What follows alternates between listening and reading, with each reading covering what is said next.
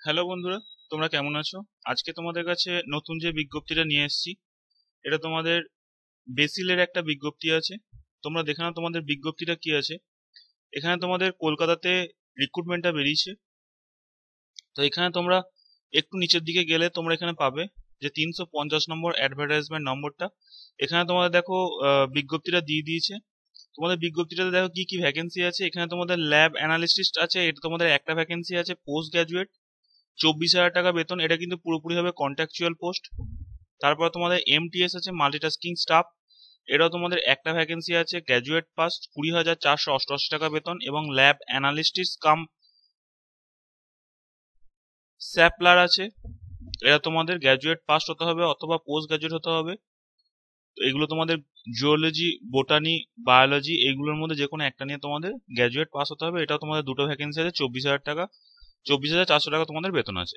এরপর দেখো এখানে তোমাদের কি বলেছে, এটা তোমাদেরকে পুরোপুরিভাবে অনলাইনে অ্যাপ্লাই করতে হবে। এই তোমাদের লিঙ্ক আছে অনলাইনে অ্যাপ্লাই করার, এখানে গিয়ে তোমাদের অ্যাপ্লাই করতে হবে এবং তোমাদের এটা অনলাইনে অ্যাপ্লাই করার লাস্ট ডেট আছে ছয় আট দু হাজার তেইশে। এরপরে দেখো এখানে তোমাদের এটার অ্যাপ্লিকেশন ফিজটা কি বলেছে, এটা তোমাদের অ্যাপ্লিকেশন ফিজ বলেছে জেনারেলের ক্ষেত্রে আটশো পঁচাশি টাকা। ওবিসিদের ক্ষেত্রে আটশো পঁচাশি টাকা এসসি এসটিদের ক্ষেত্রে পাঁচশো একত্রিশ টাকা এক্স সার্ভিসম্যানদের ক্ষেত্রে আটশো পঁচাশি, মেয়েদের ক্ষেত্রে আটশো পঁচাশি এবং ইডাব্লিউএস এবং ফিজিক্যাল হ্যান্ডিক্যাপদের ক্ষেত্রে পাঁচশো একত্রিশ টাকা অ্যাপ্লিকেশন ফিজ আছে। ঠিক আছে? এই ছিল এটা বেসিলের আজকে বিজ্ঞপ্তি। এর পরের বিজ্ঞপ্তি যেটা আছে, এটা হচ্ছে তোমাদের এমস ভুবনেশ্বরের বিজ্ঞপ্তি। এটা তোমাদের কাছে আমি এই জন্যই নিয়ে এসেছি, কারণ হচ্ছে এটা তোমাদের কলকাতায় পরীক্ষা সেন্টার আছে। তোমাদের এখানে নন টিচিং এবং টিচিং পোস্টে তোমাদের ভ্যাকেন্সি আছে। তোমরা দেখে নাও। এখানে জাস্ট তোমাদেরকে আমি এটা বলে দিচ্ছি কোন কোন পোস্টে তোমাদের ভ্যাকেন্সি এবং জাস্ট কিছু কিছু আমি ভ্যাকেন্সি সম্বন্ধে তোমাদেরকে বলছি, কারণ পুরোটা বলতে গেলে এখানে তোমাদের ভিডিওটা অনেক বড় হয়ে যাবে। যেমন দেখো তোমাদের এখানে জুনিয়র অ্যাকাউন্টেন্ট আছে, যেটা তোমাদের একুশ থেকে তিরিশের মধ্যে এজ হতে হবে কমার্স নিয়ে গ্র্যাজুয়েট পাস হতে হবে দু বছরের এক্সপিরিয়েন্স থাকতে হবে। জুনিয়র অ্যাডমিনিস্ট্রেটিভ অফিসার যেটা আছে, এটা তোমাদের একত্রিশ, কুড়ি কুড়ি থেকে একত্রিশের মধ্যে এজ হতে হবে, তোমাদের এটা গ্র্যাজুয়েট পাস হতে হবে, সঙ্গে তোমাদের কম্পিউটার থাকতে হবে। ওয়ার্ডেন আছে, হোস্টেল ওয়ার্ডেন, তিরিশ থেকে পঁয়তাল্লিশের মধ্যে এজ হতে হবে, তোমাদের গ্র্যাজুয়েট পাস হতে হবে, সঙ্গে তোমাদের ডিপ্লোমা থাকতে হবে হাউস কিপিং এর ওপর, তাহলে তোমরা এটা অ্যাপ্লাই করতে পারবে। তারপর দেখো তোমাদের এখানে আরও আছে, এরকম অনেক পোস্ট আছে পার্সোনাল অ্যাসিস্ট্যান্ট আছে, আঠেরো থেকে তিরিশের মধ্যে এজ এটা তোমাদের ডিগ্রি পাস হতে হবে এবং তোমাদের স্কিল টেস্ট থাকতে হবে এবং সঙ্গে তোমাদের শর্ট হ্যান্ডে স্পিড থাকতে হবে, তাহলে তোমরা এটা অ্যাপ্লাই করতে পারবে। প্রাইভেট সেক্রেটারি আছে, এই প্রাইভেট সেক্রেটারিটা তোমাদের ডিগ্রি পাস হতে হবে, সঙ্গে তোমাদের শর্ট হ্যান্ডে টাইপের স্পিড থাকতে হবে, তাহলে অ্যাপ্লাই করতে পারবে। এইভাবে দেখো তোমাদের এই ভ্যাকেন্সিগুলো আছে। পুরো ভ্যাকেন্সিগুলো আমি ডিটেলসে যাচ্ছি না। তোমরা জাস্ট একবার দেখে নেবে তোমাদের ভ্যাকেন্সিগুলো কি কি আছে। এরপরে দেখো, নিচে দেখ, এখানে তোমাদের ক্যাশিয়ার আছে। ক্যাশিয়ারটাও তোমাদের গ্র্যাজুয়েট পাস হতে হবে এবং দু বছরের এক্সপিরিয়েন্স থাকতে হবে।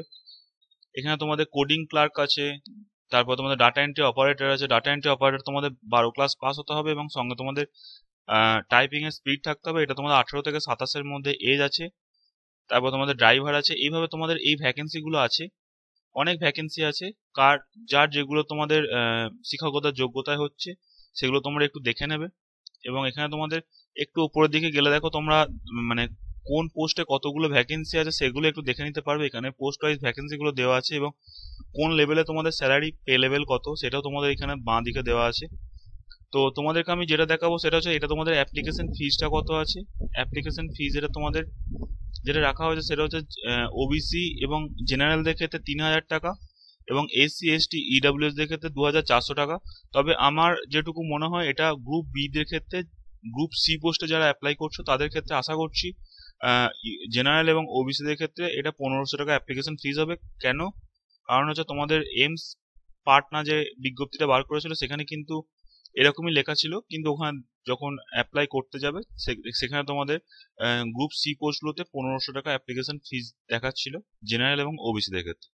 তো এটাও তোমাদের অনলাইনে অ্যাপ্লাই এখানে তোমাদের যারা এসসি এসটি আছো, তারা পাঁচ বছরের ছাড় পাবে। ওবিসি যারা আছো, তারা তিন বছরের গভর্নমেন্টের রুলস অনুযায়ী ছাড় পাবে। এটা তোমরা অ্যাপ্লাই করতে পারো, যদি তোমাদের শিক্ষকতা যোগ্যতা হয়, যদি তোমাদের বয়সে হয় তাহলে এটা তোমরা অ্যাপ্লাই করতে পারো এবং এটা তোমাদের কিন্তু কলকাতাতে পরীক্ষা সেন্টার আছে, ঠিক আছে?